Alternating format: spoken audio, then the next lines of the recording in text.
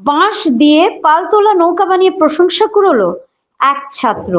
সাতশো পঁয়ত্রিশ নং ইছু মিয়া এলপি স্কুলের এক প্রাক্তন ছাত্রের অভিনব শিল্পকর্মের প্রশংসায় পঞ্চমুখ বরাক উপত্যকার জনগণ।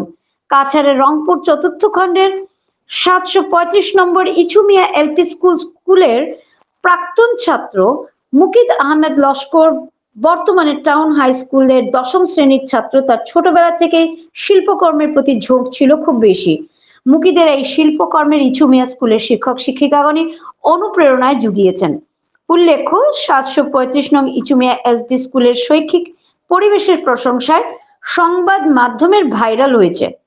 শিলচর থেকে সাংবাদিক রাজুদের প্রতিবেদন এনি টোয়েন্টি ফোর থেকে ভয়েসের স্বর্ণালী মিশ্র। আচ্ছা আপনার স্কুলের এই যে ইছামাইয়া স্কুলের প্রাক্তন ছাত্র একজন এই পালতোলা নৌকাটা বানিয়েছে খুব সুন্দর লাগল। টেস্টিংও করেছিলেন নদীতে। তো আপনি তো এই স্কুলের শিক্ষক। কী নাম আপনার? প্রধান শিক্ষক আপনি। আমার নাম মাসুমুল বাড়ি লস্কর। হ্যাঁ? মাসুমুল বাড়ি লস্কর। লস্কর। কত বছর ধরে এই স্কুলে? স্কুলে দীর্ঘ প্রায় পনেরো ষোলো বছর হয়েছে প্রধান শিক্ষক হিসাবে। তো এই প্রাক্তন ছাত্রকে আপনি পেয়েছিলেন? আমি ছাত্রকে পেয়েছি। আচ্ছা। তো এই বিষয়ে বলুন ও কীরকম ছিল বা কী?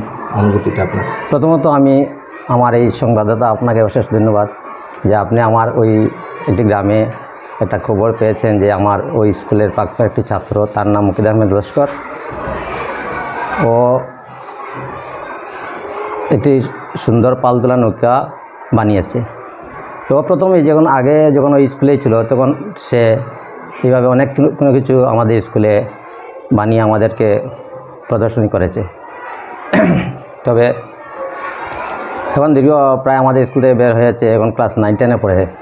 তো বাড়িতে বানি- বানিয়েছে ওটা। তো আমাদের গভর্নমেন্টে একটা হিসাব মতো আমাদের একটা কমিটিও আছে অ্যালুমিনি কমিটি বলে ওকে। প্রাক্তন ছাত্রছাত্রীদের নিয়ে একটি কমিটি গঠন করার নির্দেশ দিয়েছেন সরকার।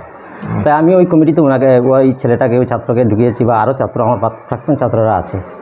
তো ওই হিসাবে হ্যাঁ অ্যালুমিনি এই কমিটি অ্যাসোসিয়েশনের সদস্য হিসাবে যে সরকার সরকারি নির্দেশ মতে বা বিভাগ কর্তৃপক্ষের নির্দেশ মতে যে ওনাদের কাছ থেকে আমরা আমাদের কচিকাচা ছাত্রদের কোনো কিছু শেখার জন্য ওনারা যতটুকু দিতে পারে, তাই ওরা আমাদেরকে সাহায্য করবে। তো এই হিসাব মতো আমি মনে করি যে ও একটি জিনিস বানিয়েছে, এই পালতোলা নৌকাটি। নদীতে নিয়ে ও প্রদর্শন করেছে, আমাকেও একটা ভিডিও ফুটেজ দিয়েছে, আমার মোবাইলে আছে। নদীতে কিছু সময় জলের উপরে চলেছে। তো আমি ওটাও বলি যে ওর ছেলেটা কিন্তু কথাবার্তায় কি কম কম বলে।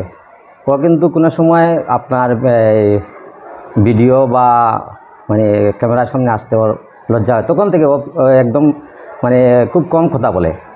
ওখানে এখনও আপনি অনেক সময় ওরাকে বলেছেন একটু কথা বলার জন্য, কিন্তু ও বলে না ওর বাবা বলেছেন। কিন্তু ও মানে কোনো সময় যে বেশি কথা বা কোনো এক, দু চার বেশি কথা বলবে, ও কিন্তু ওরা অসুবিধা হয়। তো প্রথম থেকে এইভাবে ছিল। এখনই তার বাসায়, তার যতটুকু জানি আমি, আমার স্কুলের কিনারে তার বাসা। তার কাকু জেঠু বা বাবা পিসি যাও আছে ওদের সবাই বলে যে ও ঘরের মধ্যে একা একা থাকে এবং এইসব কারুকার্য করে।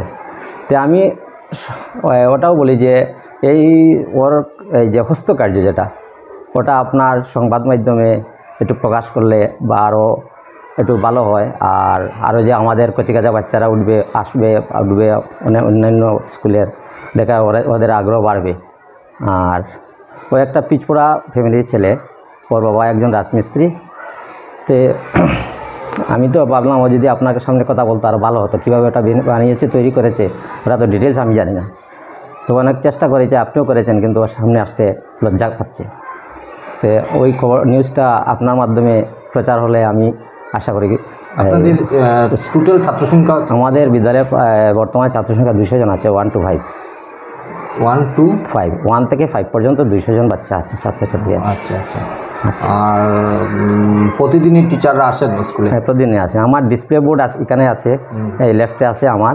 এই ডিসপ্লে বোর্ডে আমাদের টিচার উপস্থিত কতজন আছে অনুপস্থিত কতজন আছে ওটা প্রত্যেক দিন লেখা থাকে। আচ্ছা আর একটা কথা মিড ডে মিল ব্যাপারে মিড ডে মিলের ব্যাপারে অনেক স্কুলে মানে অনেক কমপ্লেন থাকে। যেমন কমপ্লেনটা হচ্ছে যে ডিম নিয়ে অনেক স্কুলে। অ্যাকচুয়ালি তো স্কুলে পড়াশোনাটাই মেইন পড়াশোনাটা ভালো হচ্ছে কিনা সেটাই। কিন্তু অনেক গার্জেনরা কমপ্লেন করেন যে বাচ্চাদেরকে হাফ ডিম দেওয়া হয়। তো আপনাদের স্কুলে মানে এই যে ডিম যে সপ্তাহে একদিন যে ডিমটা দেওয়া হয় সেটা কি হাফ না পুরোটাই দেওয়া হয়? দেখুন মিড ডে মিল মধ্যাহ্ন ভোজন নিয়ে অনেক জায়গায় অনেক মতভেদ আছে। তবে আমি আমার সাতশো পঁয়ত্রিশ নম্বর ইসিএম এলপি স্কুলের প্রধান হিসাবে আমি আমারটা বলছি সরকারি যখন নির্দেশ এসেছে, তখন থেকে আমরা একটি ডিম ব্যবহার দিয়ে যাচ্ছি প্রতি সপ্তাহে বুধবার। কিন্তু এর আগে প্রথম যখন ছিল তখন আমরা হাফ দিয়েছি। যখন রিটার্ন অর্ডার ঊর্ধ্বতন কর্তৃপক্ষে দিয়েছেন যে একটি সম্পূর্ণ ডিম বাচ্চা পেতে হবে প্রতি বুধবারে এটা আমরা প্রতিদিন দিয়ে থাকি। এটার জন্য আপনি এভিডেন্স হিসাবে ছাত্রছাত্রীদেরকে বলতে জিজ্ঞাসা করতে পারবেন টিচারদেরকে জিজ্ঞাসা করতে পারবেন এবং আমার এলাকার আরও রাস্তাঘাটে আরও মানুষ আছে ওনাদেরকে জিজ্ঞাসা করতে পারবেন। কোনো অসুবিধা নেই। আচ্ছা আর একটা প্রশ্ন আপনাদের স্কুলে যে গুণোৎসবটা লাস্ট ইয়ার কীরকম হয়েছিল বা এই বছর কীরকম হয়েছে? পরীক্ষাটা এবার তো রেজাল্ট বের হয়নি। আমার স্কুলে প্রথম প্রথম আজকে তো ফোর টাইম গুণোৎসব হয়ে গেছে। আচ্ছা। ফার্স্ট টাইম যখন গুণোৎসব স্টার্ট হয়েছে তখন বি ছিল এরপরে এ ছিল এরপরে এ প্লাস ছিল। এখন তো এইবার কী হয় দেখা যাক রেজাল্ট তো আসে না এখনও। ও এ ফার্স্ট টাইম এ ছিল? না ফার্স্ট টাইম যখন ফার্স্ট গুণোৎসব আরম্ভ হয়েছে তখন বি ছিল। আচ্ছা। বি গ্রেড পেয়েছিল। এরপর এরপরে এ পেয়েছে এরপরে এ প্লাস পেয়েছে। আচ্ছা। এখন এইবার জানি না কী হবে। লাস্ট ইয়ার এ প্লাস পেয়েছে? এ এ প্লাস পেয়েছে। আর এবছর মানে কীরকম আপনি আশা করেন? আশা করি এইভাবেই হবে। আচ্ছা আচ্ছা। এবার প্লাস হবে স্কুলের শিক্ষক? কি নাম আপনার? আমার নাম শ্রী দেব। আপনার? একটা সুন্দর একটা জিনিস দেখলাম স্কুলে এই যে সবজি বাগান। মানে মানে বেগুন ধরেছে টমেটো ধরেছে অনেক কিছু লাগানো হয়েছে।